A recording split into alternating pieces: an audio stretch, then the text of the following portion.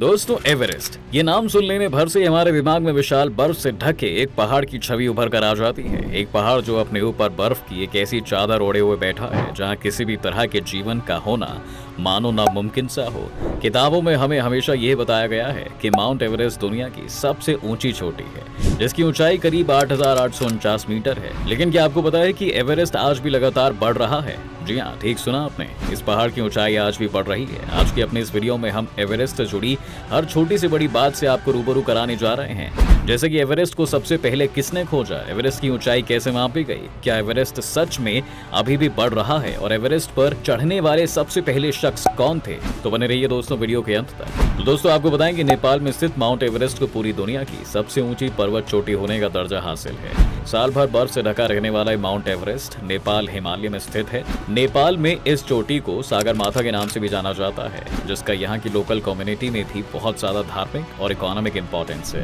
वही बात करें तो माउंट एवरेस्ट कई माउंटेनियर्स के लिए उनकी ज़िंदगी भर का गोल माना जाता है, जहाँ पहुँचने के बाद पर्वतरोही अपने जीवन की सबसे मुश्किल चढ़ाई को पार कर लेते हैं।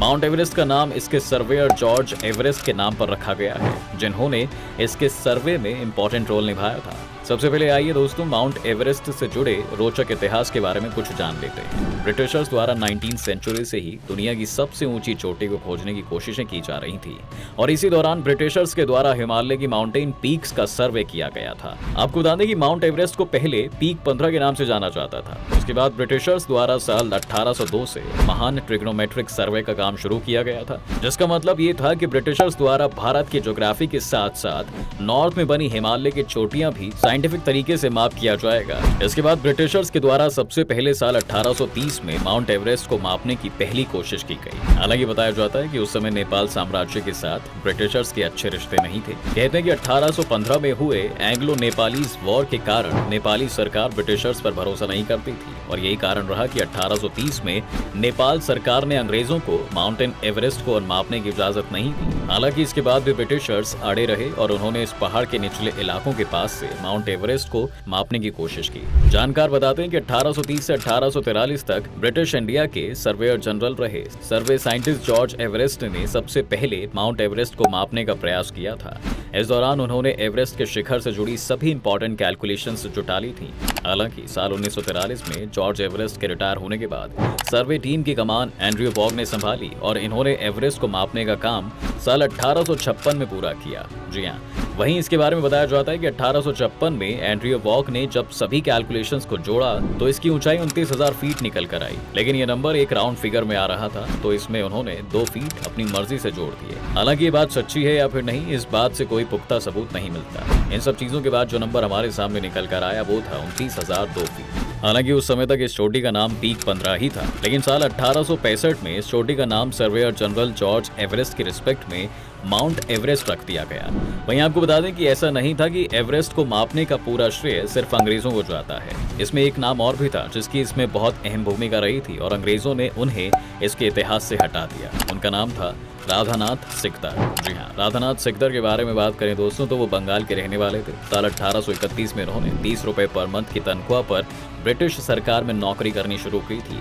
बताते हैं कि उन्हें मैथ्स की अच्छी नॉलेज थी, इसलिए अंग्रेज़ सरकार ने उन्हें ग्रेट टेक्नोमेट्रिकल सर्वे में हिस्सा लेने के लिए देहरादून भेज दिया था। कुछ साल देहरादून में काम करने के बाद अठारह सौ इक्यावन में कलकत्ता में उनका तबादला कर दिया गया। वहाँ उन्होंने हिमालय का सर्वे कर रही टीम को ज्वाइन किया और उन्हें चीफ कंप्यूटर का पद दे दिया गया। दरअसल चीफ कंप्यूटर का मेन काम होता था कि जो भी डेटा इकट्ठा किया गया है, उसे एनालाइज करने के तरीके कैसे ढूंढे जाएँ। आपको बता दें कि कैलकुलेशन में माहिर मैथमेटिशियन राधानाथ सिकदर ने इस दौरान अपने सर्वे में कई आंकड़े जुटाए। उन्होंने इस चोटी के अलावा कई और भी पहाड़ों की जानकारी जुटाई, जिसके चलते उन्हें चीफ कंप्यूटर का पद दिया गया था। हालाँकि उनकी असल खोज उनसे छीन ली गई। कहते हैं कि इस दौरान भारत गुलामी के जंजीरों से जकड़ा हुआ था। यही वजह थी कि साल अठारह सौ बावन में सिकदर की खोज को ब्रिटिश सर्वेयर एंड्रियो बॉग ने सर जॉर्ज एवरेस्ट को दिलवा दिया था। दुनिया के सबसे ऊँचे पहाड़ को अब तक जो लोग पीक पंद्रह कहते थे, उसका भी नाम बदलकर माउंट एवरेस्ट रख दिया गया था। वही बात करें तो जिस समय सिकदर अपनी कैलकुलेशंस में हिमालय से लेकर दूसरे पहाड़ों पर जाया करते थे, उन दिनों उन्हें फ्रॉस्ट बाइट हो गया था। उस समय चूँकि लोगों को इस बीमारी के बारे में मालूम नहीं था, ऐसे में लोग मानने लगे कि उन्हें कुष्ठ रोग है। बहरहाल, सिकदर से वापस निकल कर आते हैं और एवरेस्ट के बारे में आपको बाकी जानकारी भी बता देते हैं। दोस्तों, महान हिमालय का हिस्सा होने के कारण माउंट एवरेस्ट का क्लाइमेट हमेशा ही ग्लेशियल यानी कि बर्फीला है। दुनिया की सबसे ऊँची चोटी होने के कारण यह एरिया हमेशा ही बर्फ़ से ढका रहता है। इसके अलावा ज़्यादा ऊंचाई के कारण यहाँ ऑक्सीजन की ज़्यादा कमी होती है, जिससे कि पर्वतरोहियों को यहाँ क्लाइंबिंग के दौरान कई मुश्किलों का सामना भी करना पड़ता है। इसके साथ ही देखा गया है कि मई के महीने में नॉर्दर्न पार्ट में गर्मी बढ़ जाने के कारण इस एरिया में बाकी समय के मुकाबले ज़्यादा गर्मी होती है और यहाँ का क्लाइमेट इस समय क्लाइंबर्स के लिए एकदम फेवरेबल होता है। वहीं सर्दियों के समय इस एरिया में बर्फीले तूफ़ान चलते हैं, जिससे की यहाँ पर हवा की रफ्तार दो से तीन सौ किलोमीटर की हो जाती है। इसके अलावा आपको जानकर हैरानी होगी की आज से तीन साल पहले तक एवरेस्ट की हाइट को आठ हज़ार आठ सौ अड़तालीस मीटर मानते थे। लेकिन जैसे की हमने आपको पहले बताया की ये लगातार बढ़ रहा है। तो इसको लेकर अब नई ऊंचाई आठ हज़ार आठ सौ अड़तालीस दशमलव छियासी मापी गई है। ऐसे में दुनिया की सबसे ऊँची चोटी की ऊंचाई और बढ़ गई है। बता दें कि माउंट एवरेस्ट की ऊंचाई दोबारा मापने की कोशिश 2019 में शुरू हुई।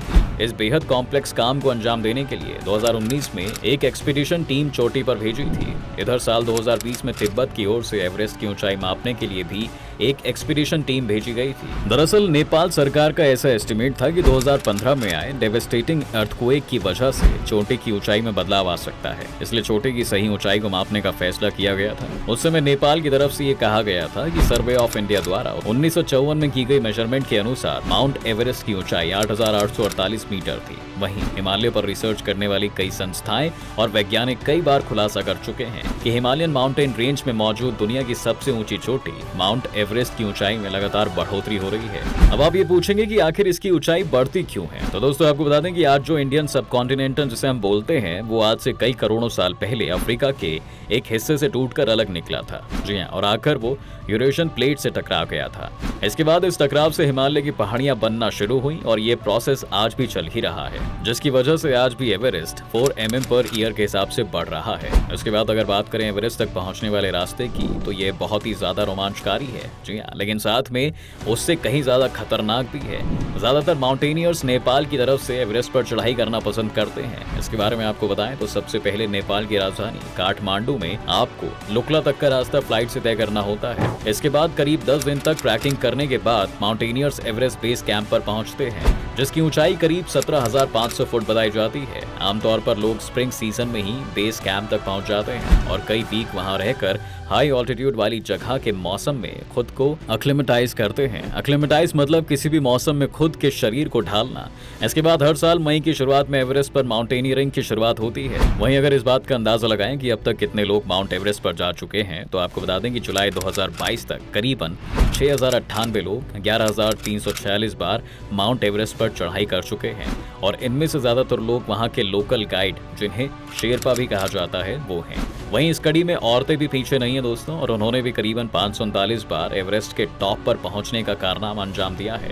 लेकिन ये आंकड़े उतने भी सीधे नहीं है, क्योंकि अब तक करीब 310 लोगों की मौत भी एवरेस्ट पर चढ़ाई के दौरान हो चुकी है। एस्टिमेट लगाया जाए तो इसमें से करीब 200 लोगों की डेड बॉडी अभी भी एवरेस्ट पर बर्फ़ में ही दबी हुई है। इनमें से आधी से ज़्यादा एक सौ अड़सठ मौतें बिना ऑक्सीजन सपोर्ट की हुई है, क्योंकि ये लोग अपनी जिद के चलते बिना ऑक्सीजन के एवरेस्ट पर चढ़ना चाहते हैं। वहीं तिहत्तर लोगों की मौत एवरेस्ट टॉप पर से उतरते हुए हुई है। जी हाँ तो दोस्तों आज की वीडियो में फ़िलहाल इतना ही। उम्मीद करते हैं कि आपको आज के इस वीडियो में काफ़ी कुछ सीखने को मिला होगा। अगर ये वीडियो आपको पसंद आया तो वीडियो को लाइक करें और अगर आप इस चैनल पर नए हैं तो जाने से पहले चैनल को सब्सक्राइब करना भी ना भूलें।